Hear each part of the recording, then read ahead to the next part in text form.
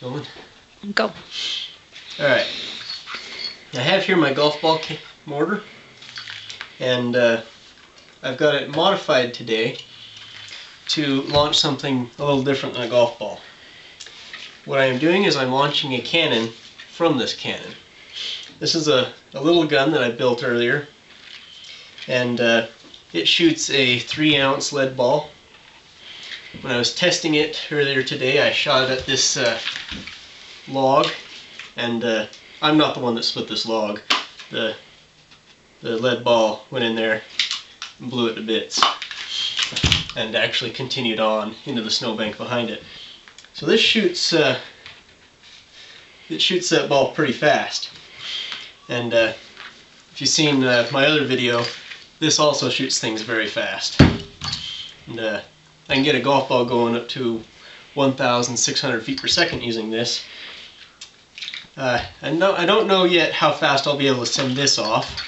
I mean, it, this here weighs a lot more than a golf ball. It weighs one and a half kilograms, whereas a golf ball weighs 45 grams. Uh, this gun weighs 3.8 kilograms. And uh, so what I've got here are these, these little metal tabs used as brushes.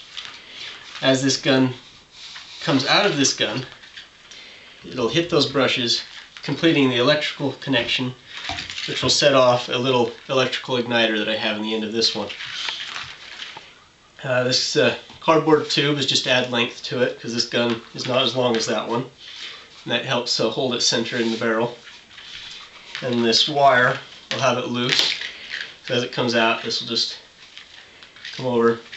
And hopefully this will this gun will go off just as it's leaving this gun.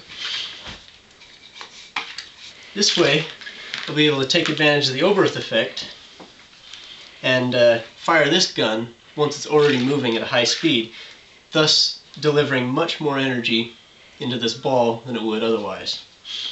Essentially what the Oberth effect is doing is as this gun fires and giving kinetic energy to this gun, the gunpowder inside this gun becomes more efficient.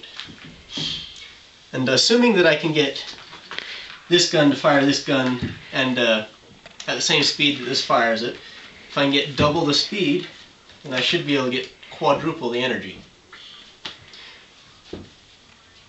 So it's uh, it's getting dark right now, so I'm gonna have to cut the video here and uh, should uh, fire it tomorrow morning. Let's do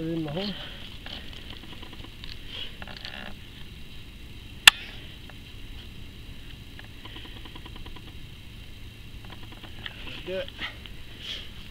Alright.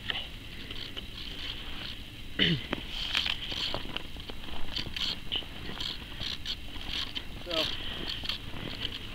what I've got, this is how I've got it set up.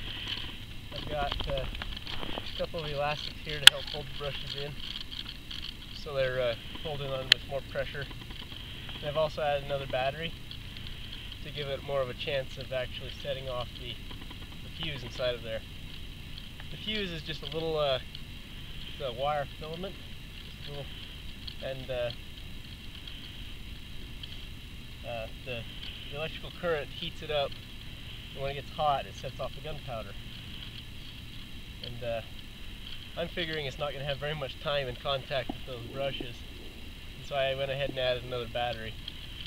The one battery is more than enough to set it off normally. Right, so I've got it set, aimed at the sky, angled a little bit towards the north.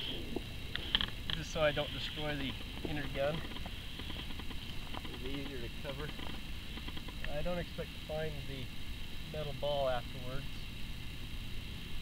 but uh, that's not my, part of my experiment. What I'm, the experiment is to see if the cannon fires as it's being fired from the other cannon. And I'm going to go ahead and light the sparkler.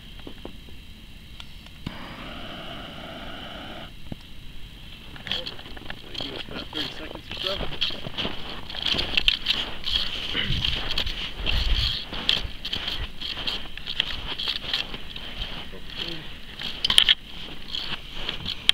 contact long enough to go off. First one I'm pretty sure will go off. Got a little more powder in there than I normally use. I've locked it. But I've used more than that before.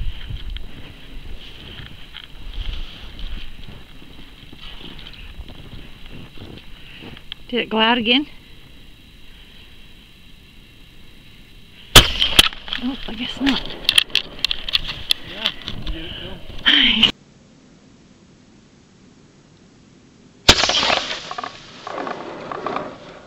Yeah, did you get it filmed? Far out of me. The second gun is still falling. Alright, Uh, somewhere over there. somewhere on the other side of the wash. Nice. I wonder if it actually fired. It sounded weird. sounded weird. Sounded louder than I've normally heard. Well, the first gun held. it blew those sideways. A long time. I heard it, it land. It shoved it into the ground. Yeah, it, uh, the recoil from it shoved it down into the frozen ground. Wow. Yeah, that was in the air for at least 10 seconds. Oh, a long time. Are you ever going to find that? Well, I just go off towards where I saw it land. Or where you heard it land? And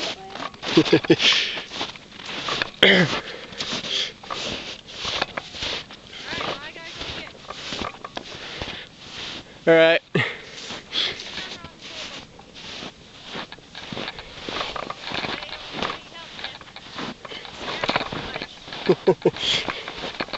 Scared her.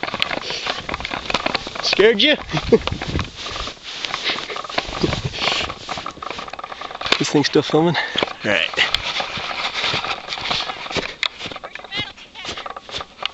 Yeah, I might need the metal detector, huh? yes. You quit talking.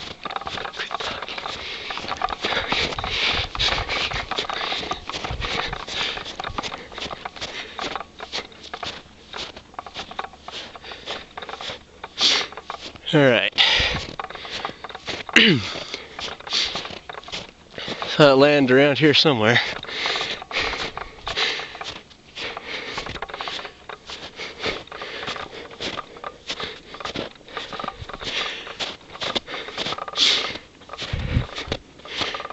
Oh, here it is.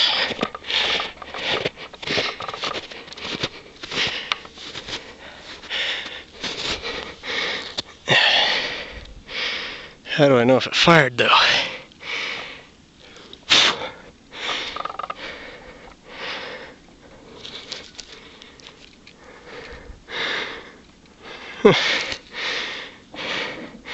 You know, it fired. The fuse is blown. You can see that. It uh, cleared off most of the tape from the launch, but it fired.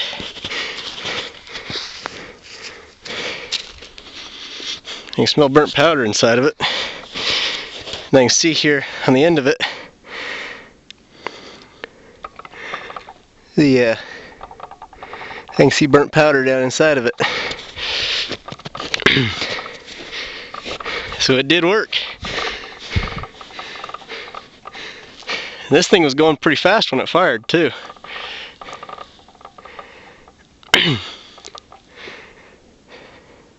this piece of pipe was in the air for about, I'll have to look back at the video, but it felt like forever.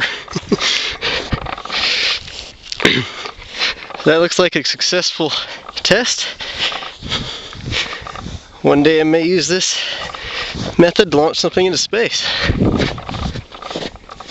I'm to call that the end of the video.